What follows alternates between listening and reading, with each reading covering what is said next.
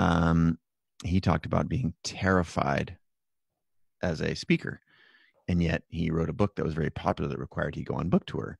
Like, how do we reconcile these two things? This was in 2004. He talked about this, or he shared this experience about being in 2004. And um, he had a, an experience where he froze and um, paying attention to the physical sensations in the body. This is um, a very this has much to do with mindfulness. So if anyone wants to take classes around mindfulness, um, my wife Kate is a teacher of mindfulness, and she has not given me the ability to share her coaching practice with anybody on the call. So at some point when she will, I will share it with you. But there are great mindfulness practices out there. What mindfulness does, it it gets you out of your head and into your body. And if you start to like, what is fear? Basically, fear is generally a story, right? We go boom, right into our head. Head tells head talks about the time that we froze in front of our students. It's a com it's a comparison about our worth as a human. It's a versus what Sam shared so eloquently in our podcast. I can't wait for it to come out. But what he shared so eloquently, it was like, great. Now you have this anxiety of being seen. What does it feel like? And as soon as you go into like, what does it feel like? Where is it in my body? Fe- the fear and the anxiety literally can't exist because you're like, okay, what does it sound like? What does it feel like?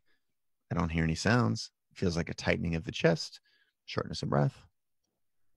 If you sit with that for like 20 seconds and you're describing it, you're not anxious. Then you're talking about a series of neurochemical reactions in your body that are creating something. And you're recognizing that, huh, that's just a chemical in my body. And fear all of a sudden starts to feel a lot like excitement. Huh, looks like what I've been telling myself is a story. Now, I'm simplifying years of practicing this into a single sentence. So I acknowledge that but that is a powerful experience for those trying to get over public speaking trying to get over the fear of putting your work in the world what does it feel like to read a negative comment? Where do i go? Where does that come up in my body? Stomach heart head mostly these feelings are from here to here right? It's from your belly button to your neck.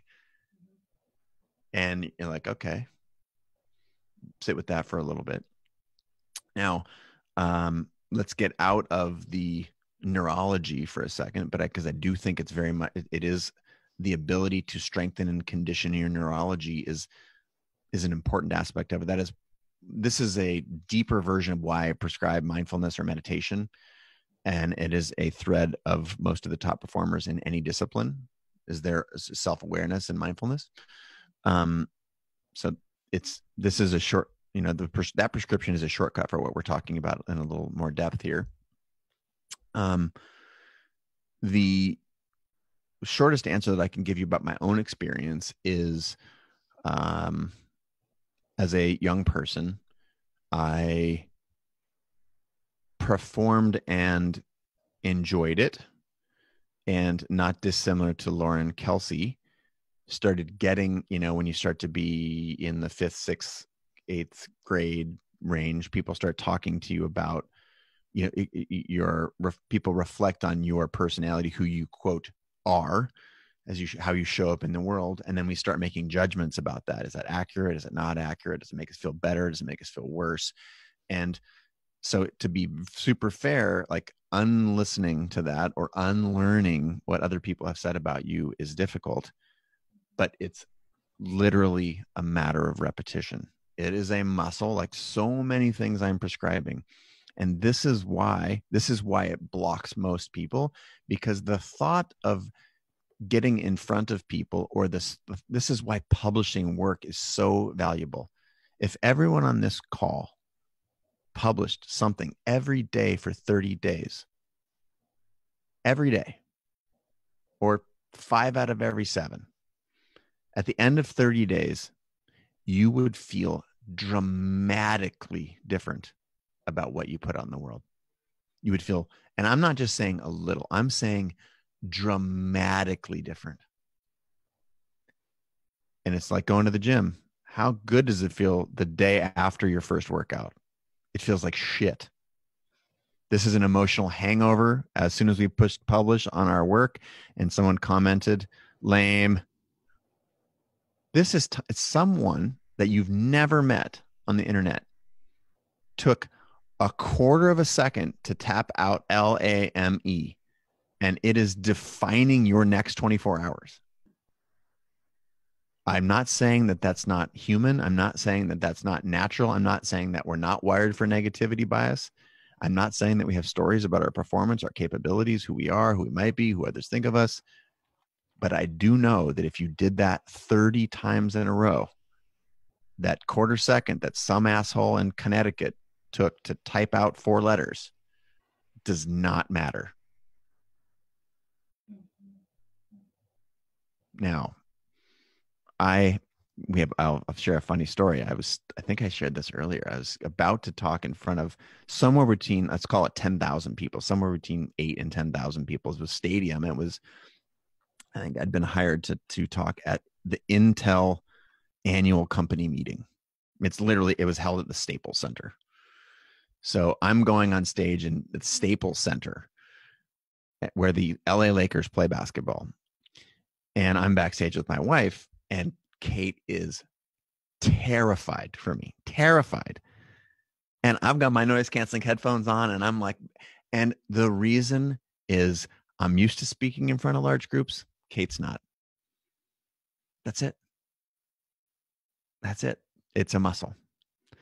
Now, I, it's important to, the last thing I'm going to say is I, it's very important to not devalue the often hard, nonlinear process of getting from, you know, where you are now to where you want to be. But it's just a muscle like anything else. Your task, Lauren Pennywell, is to find out how you can put yourself in that environment in a lightweight way over and over and over. If it's public speaking, it's Toastmasters. If it's putting your work in the world, it's publishing every day. And there are 10 other, you know, analogous ways to practice depending on your craft or what it is that you want to be or become in the world. I'm just giving you a couple of obvious ones. So I do think I'm a natural extrovert. I'm becoming more introverted or I would call it ambiverted at later in my life because I feel like I can actually get more work done.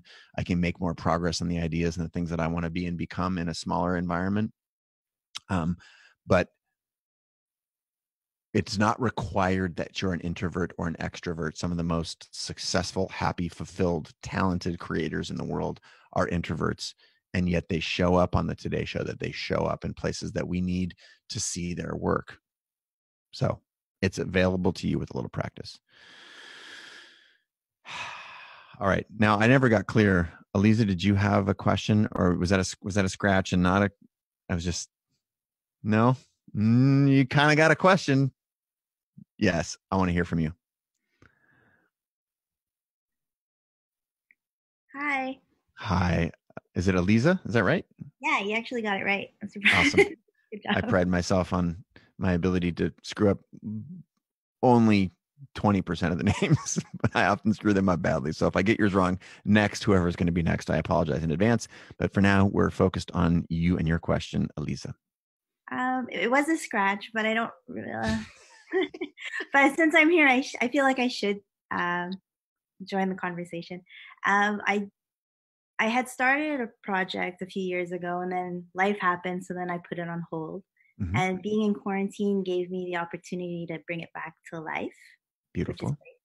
So I started actually part time on that. Uh, found a full time job remotely as a graphic designer. So like financially, I don't have to stress too much, mm-hmm. and I can still do part time on my passion project. And I'm also starting to sell those things. People are sending me great feedback. They're sending me like text messages, thank you, like, and it's like I, I feel like I get trapped at that next step. Like I don't have a website. I'm not selling online. Uh, I just post the things that I make on Instagram, but I even that's rare. And mm-hmm. so it's always like word of mouth or people contacting me like, hey, I just saw you posted that. Are you selling this? And then that's how I mm-hmm. make sales. Great. Which is a good thing, a good problem to have. It's just I think then it's the next step. I I I'm constantly blocking myself there. Cool. Well, I can't wait for you to go rewatch this the next 120 seconds over and over again after we're done recording this class and it's on the Creative Live website because your prescription is very simple. You are conveniently accepting where you're at right now, which is fine. And yet embedded in you is a desire to go forward because you've talked about and again i'm not prescribing this to you i'm, I'm just translating the words that you used into what i believe having done this a bunch you, you mean which is like i want to go to the next step.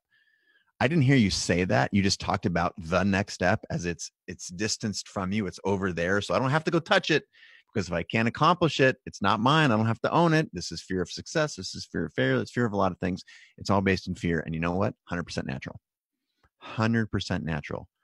This is why I'm going to take you back to I imagine. You need to define, take a second and define for yourself what it is that you want to do. Imagine what's possible. And this concept of imagining is a little scary because it sets you up to potentially fail, to potentially miss the target, to potentially not make it to the next step, whatever that means in your world. But here's the cool thing if you set yourself up and you walk through this four step process, I believe that the success and fulfillment that you want from this thing that you haven't, that you have some notion of, but you haven't become crisp on, I think you've got it. I think you got it in you and I think you can do it. The cool thing is that I think like literally every person on this call, without exception, has the capability to do some version of the thing that they want to be. Now, maybe if you want to play in the NBA and you're 66 years old, maybe you can be an NBA coach. Maybe you can be a trainer on the NBA. Like you can get super, super close. So I'm trying to think of the most unrealistic thing. I don't know a lot of 67 year old NBA players, but there's the ability to be so close. And for almost everything else, you can actually do it. What's required is describing the vision, designing a plan to get there, executing that plan, and all the while building community. So your job starting in 72 hours when this is on the creative website creative live website is to go back and watch this two minutes because the prescription is quite simple. I want you to actually write down the things that you want out of this next step. If you could envision a next step what would it look like? What is a plan that you can through deconstructing the success of other people trying what works seeing what what what would the plan for you be to reach that attack that goal, right? Attack that goal, execute against it, and then all the while be showing up as you are here today. And you know what? Even if you don't end up doing that thing or your plan varies just a little bit, or in any of these situations, you're going to learn a lot. And maybe you're going to refine your eye just a little bit and you're going to, you know, tweak your plan a little bit. And it's going to be within your reach before you know it. The distance between where you are right now and where you want to be is shorter than you think. And this is true for every person. I think you're you're well on your way. Okay, it's just the next step. You don't have to see all the steps. You don't have to see the whole ladder. It can, it's foggy. There's a jungle between you and where you want to be. All you have to see is the step that's right in front of you, and the one after that, and the one after that. How you doing? Thumbs up, down, sideways, up, down, or sideways? Double thumbs up. All right. Thank you. Cool. Round of applause. Shout out for Elisa. Awesome. Um, I'm going to take a peek at the other feeds. Hmm.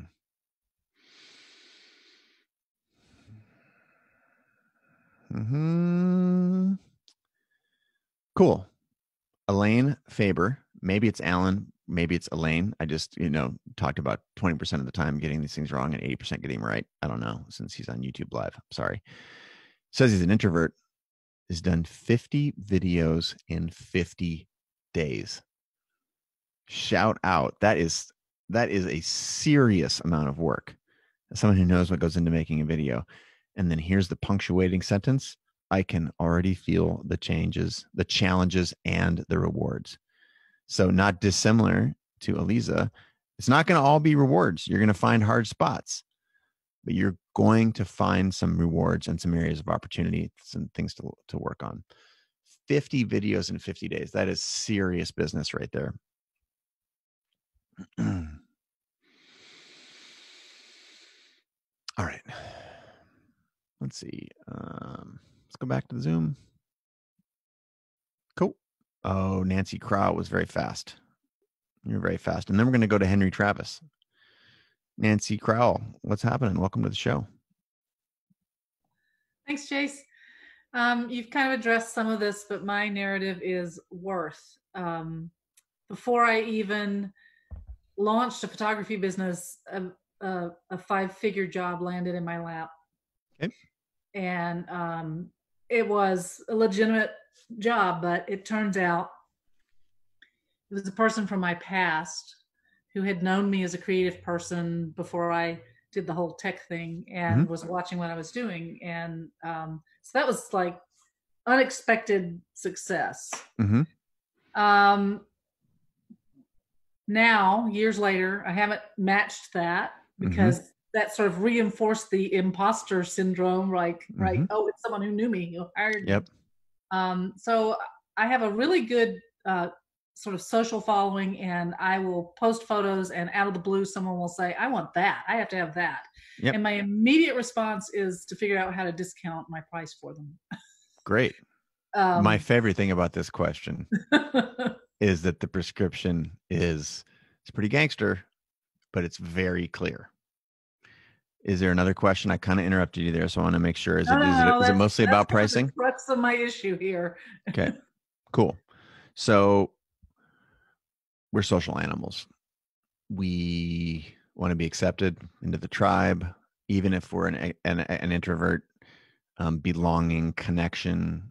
Uh, if a baby is not held, as a baby, it will not just not turn out well, it will die, especially early on in that child's life.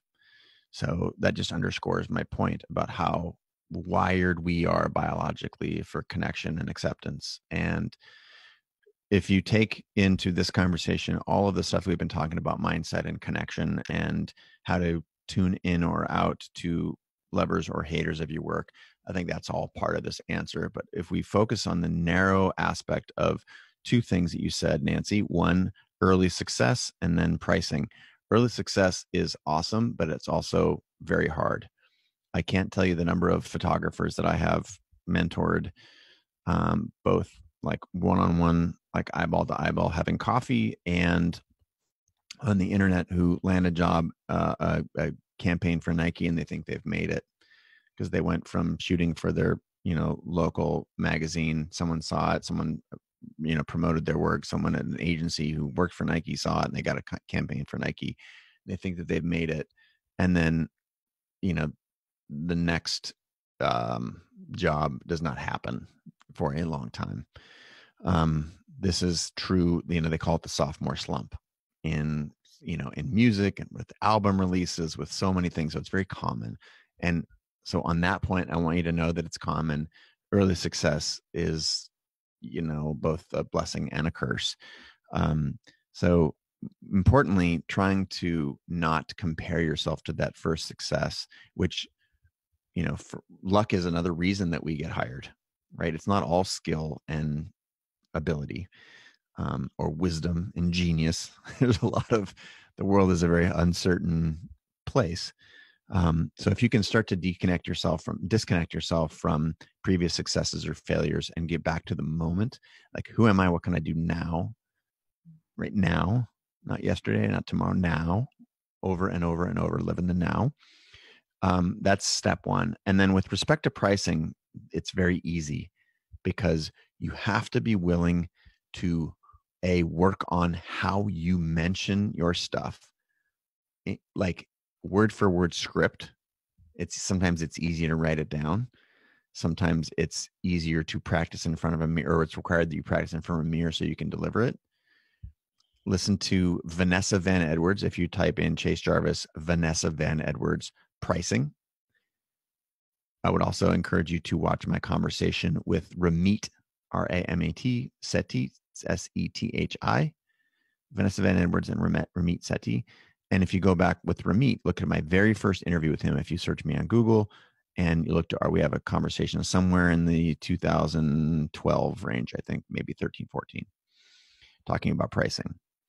My price is $500 versus, this is Vanessa Van Edwards versus my price is $500. And the points that you'll get from Ramit are how much value am I adding? If you are an artist and you are charging hourly, I understand why you might be doing that. I think that's the wrong approach because it limits the amount of money that you can make based on time. I like to have a creative fee because a creative fee can be any number. And a lot of photographers get trapped into a day rate. Great, I want, you, to work for four days. The most you can make then is $8,000 versus I have a creative fee of anything you want it to be based on how much money you know they have, based on how much money they did it for last year, based on that money is on the table for you. So these are very there there are very tactical pricing exercises that you can both learn from listening to my conversation with Vanessa and my conversation with Ramit where we go deep on these things.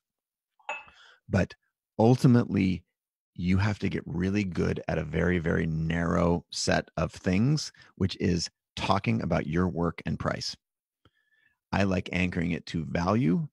There are some anchor pricing available. There are some anchor pricings available to you in the market. What are other people doing? Like, for example, if you have a video on demand subscription, it's very hard to make that a $200 a month subscription because Netflix is $9. This is, these are realities but that's why I would like you to then reframe the conversation, which is what what Ramit talks a lot about, is reframing your pricing around a structure where you can make however much you need in order to make it, and then the delivery of how much your shit costs is practice. I can look someone in the eye and say, "Yeah, it's it's gonna be a hundred grand to hire me for those two days," and some eh, they may be flabbergasted, but you know what? The difference between getting a hundred grand for something and 10 grand for something is largely who you're talking to. This is why starting to understand where you want to be pricing can tell you who to talk to. Because if you're if you're happy man Franco and you go to, you know, the street fair in Baltimore and you say, you know, my woodblock portrait there is or my woodblock block landscape is a hundred grand do people who show up at a street fair expect to pay 100 grand for a photograph? No. But if that photo is on display at Sotheby's, do people at Sotheby's expect to pay 100 grand for a photograph? Yes. Who's the difference there? What's the difference? The work is the same. The difference is the audience. So if you know where you want to be in the market and you decide who your customer is and you can shop it to them, that's going to help you. Ver- Notice how this is intentional. This is not who fucking called me and wants to buy a thing this is who is my customer? Yeah. Very different.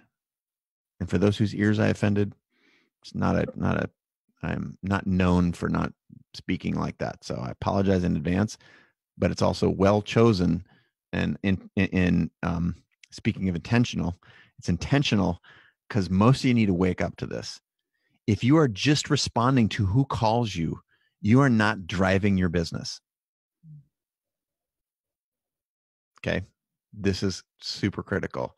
If you want to make a living, then, you know, again, selling something for $5 on the internet, how many things you need to sell to pay rent?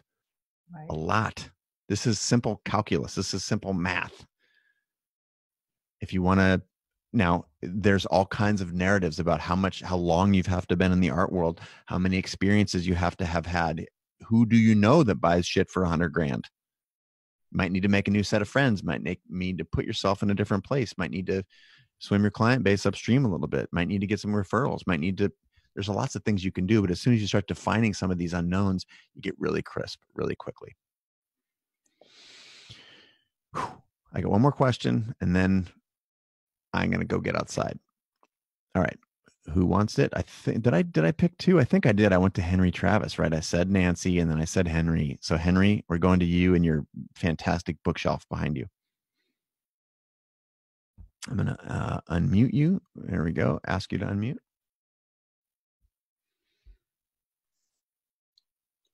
Oh yeah, the soccer ball and Tim Ferriss. Yeah, of course.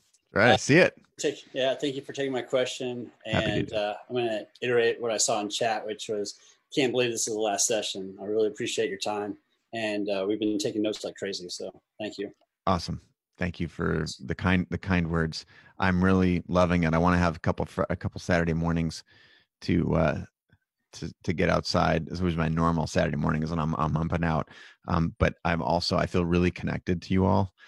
Um, seen so many familiar names and and met so many new folks through the course of this and uh, our texting relationship that I'm trying to find more ways to do this. So keep your eyes peered uh, to my feeds because we're going to do more. But i am getting a ton of juice from this too. So thank you for that, and and stay tuned for more. Um, in the meantime, how can I help?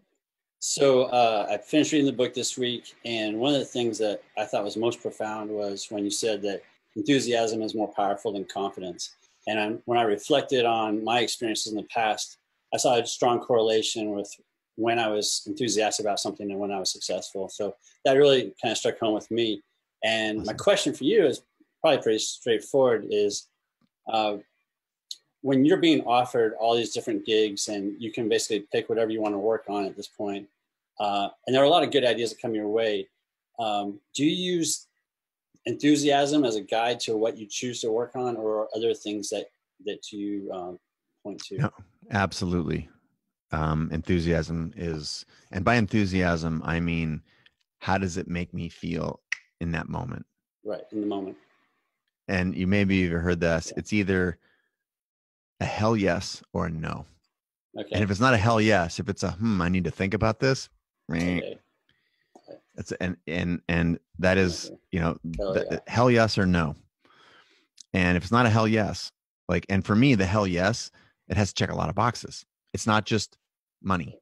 It's you know maybe it's brand location humans. What, what are the human beings that i'm going to be interacting with on a regular basis? Do they have something that i can learn from and be inspired by? Of course we can all be inspired by anybody and learn from anyone but are they on my list as someone that i was really excited to work with? Um, whatever the rubric is for you to be able to say yes it makes it this goes back to a core value statement like what are you about? Why are you in this? Right. is it about paying rent? Then if it's about that then i think you should check yourself. If it's about paying rent then to me you're not living the highest version of yourself. Now you can be in a profession that you would love more than anything and still need to pay rent but notice they're different right? Subtle, yeah. but real. And that distinction is up to you to identify. So if things are in line with your core values and if they make your heart sing, if there is enthusiasm, genuine, heartfelt, earnest enthusiasm, that is what is important to at least set your sights on. Now, the goal of paying rent with your passion is very real. And so I don't want to pretend that there's not a discussion. Remember the, earlier in the book, the big three, mm-hmm. um, you know, the, the, the people, um, money and creative control. Those things are all going to come up over and over. So I think you should think about those things before you're confronted with those decisions. Um, but you know, if my world is, uh, I do get to choose those things, then, um, the cool thing is that that world is available to you as well. It's not, it doesn't matter how far along on the spectrum you are. I just want to make sure you're being honest with yourself that you're not setting some bar that allows you to say no to things that you should otherwise say yes to develop as a creator or as an entrepreneur or however you define yourself. So, um, this is an area where a lot of people stumble and they stumble naturally because there's a like everything else in this in this course is a muscle and very few of these things are um, natural we are undoing a lifetime of programming of people who told us what was possible with this one precious life. And that's hard. I want to grant it, but it, it just that it is doable is exemplified in the people that you look up to, respect, admire, appreciate, want to be like, emulate, inspired by, all those things. They are living proof that it is possible. You also have moments in your life that when you look back, you felt connected, you felt in a flow state, you were doing things that you wanted with people that you like even if it was just for a day, a week, a month, a season, a project, it mm-hmm. exists. Look at what it looked like. What were the takeaways that you have from that? How can you replicate that and set some core values around that as a North Star? Because as soon as you have a North Star, as soon as you have a why, making all these other decisions is so much easier. All right. I'm very sad that I have to say goodbye to you all. I'm very sad that this is the last uh, week, the last lesson, uh, session, if you will, in the Creative Calling Book Club. Um, I I do want to ask for your ongoing support, sharing, you know, you all sharing the answers, the you know pictures of you reading the book, uh, reviews on Amazon. It really does.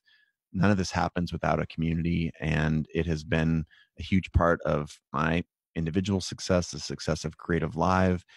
And the cool thing is, is this is what will create success for you all as well. If you're out there doing the work, we are now that we've read the book, we are absolutely crystal clear that the role that community plays in, we're absolutely clear that showing up for others, being the fan you wish you had, um, is such an important part of the process. I want to thank you all for showing up. I get tons of juice from this, and um, there are so many comments in the chat that uh, there's a lot of. If you haven't reviewed that yet, and you're in the Zoom call, you should. Um, the hashtag creative calling is always available to you. I look at it every single day. If you want to put your work there um, on Instagram or whatever, I share a lot of the stories and the work that I see in the world um, in my stories. Um, I want to finish with a. see, let me look, check out my thing here. Um, I want to finish with a closing read. Not everything will be a fit for you. That's okay. Just as I assembled my own approach to life by deconstructing the lives of the creators, the skate punks, world class performers, and philosophers I've studied, I encourage you to take what works, to integrate it into your own life, and to ditch the rest.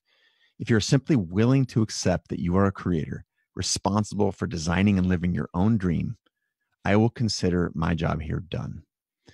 As your creative practice deepens and expands, you will experience a greater sense of direction over your own life you will prove to yourself over and over that you have the power to turn your ideas into reality. This sense of agency and autonomy will bring you happiness and satisfaction like nothing else. Please pursue your own creative calling. All right, that was from page 290. I am so grateful for this community. I hope you've got a lot of value.